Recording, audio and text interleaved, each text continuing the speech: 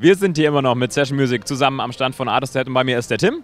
Und äh, Tim, dich kennen vielleicht ein oder andere schon von den Rockstarter-DVDs. Äh, zwei Volumes gibt es bisher schon, sowohl für Akustik als auch E-Gitarre. Ähm, es gibt auch bald eine dritte, habe ich gehört. Genau, die kommt im Mai raus. Und ähm, was machst du denn auf den DVDs? So, was ist das Ziel von den Teilen? Das Ziel von den DVDs ist eigentlich am Anfänger ohne irgendwelche Vorkenntnisse das zu ermöglichen, einen leichten Einstieg und vor allem praxisorientierten Einstieg zu geben. Das heißt, wer jetzt nicht so drauf steht, irgendwie ein Buch zu gucken, da ein Notensystem zu sehen oder Gitarrentabs zu nutzen, der guckt sich die DVD an. Ganz genau. Und du kannst halt, du hast halt den Vorteil, du hörst und siehst und, und bekommst er erklärt, was du zu tun hast, um, um das zu lernen.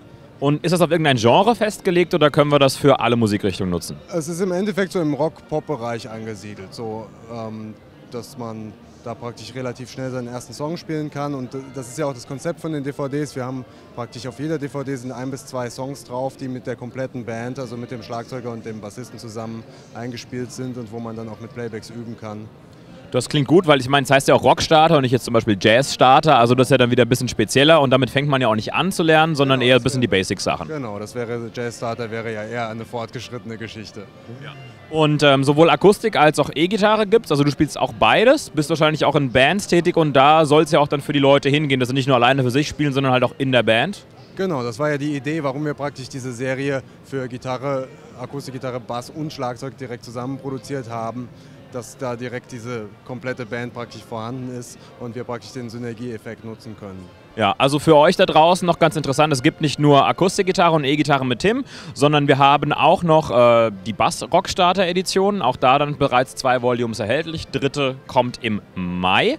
Und ähm, Schlagzeug könnt ihr auch mal bei uns bei Session Music in Frankfurt euch immer wieder angucken, weil da läuft es nämlich auf den Screens in der Abteilung. Und jetzt sehen wir hier auch gerade einen weiteren Drummer neben mir ein. Trudel, du kannst dich gerne einfach mal zu uns dazustellen. Ja, wunderbar, weil da haben wir nämlich den Herrn, der bei uns in der Abteilung schon die ganze Zeit zu sehen ist. Äh, Benno, du bist äh, deinerseits Drummer und hast bei Rockstar jetzt auch schon zwei Volumes gemacht. Ja, drei gemacht, die dritte kommt demnächst. Die ist im Schnitt. Ja, Mai habe ich jetzt gehört. Und ähm, du deckst wahrscheinlich auch äh, wie er alle Genrebereiche ab. Also es ist jetzt nicht für eine spezielle Musikrichtung oder eine bestimmte Trommeltechnik, sondern geht in alle Richtungen ganz breit.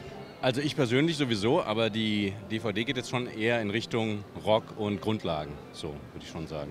Also weder jetzt irgendwas mit Besen, sondern wirklich schön zwei Sticks und los geht's.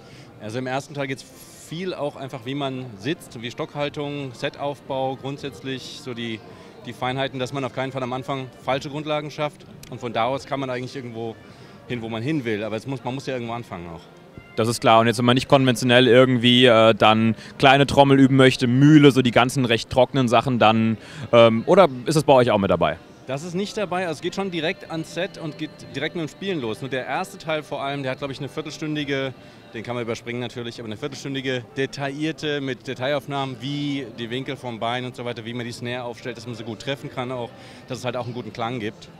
Und dann geht es direkt ins Spielen. Also wir machen keine kleine Trommelübungen, sondern wir spielen am Ende des ersten Teils ja auch direkt einen Song, beziehungsweise zwei sind, glaube ich, auf der ersten zwei Songs drauf, die werden dann, also darauf wird hingearbeitet auf allen drei DVDs, also auch auf der Drums natürlich. Also ganz praxisorientiert, ganz wichtig, war für mich auch immer besser als Schlagzeuger, weil natürlich man muss ein bisschen irgendwie sich auch irgendwann mal mit der Technik befassen, aber ich habe mich auch lieber mit meinen eigenen CDs irgendwann hingesetzt, habe dazu getrommelt und das ist auch ganz klar dann ja das Ziel von den Rockstarter DVDs. Also guckt euch die ersten beiden Volumes an. Volume 3 kommt im Mai, kann man sich gut merken als kleines ja, äh, Eselsbrückchen und dann sind wir gespannt auf den dritten Band zusammen mit Tim und Benno auch wieder. Und äh, im Bass ist auch noch ein Kollege von euch. Und ihr macht auch so zusammen Musik? Ähm, ab und zu mal, ja. Wenn es sich ja bleibt ja nicht aus, wenn man auf einer DVD genau. zusammen landet. Ja, ja, das sowieso, genau. Ja, dann danke ich euch für die ähm, ja, Tipps und für die Eindrücke von den Rockstarter DVDs und dann gucken wir hier mit Session Music nochmal ein bisschen weiter auf der Messe rum.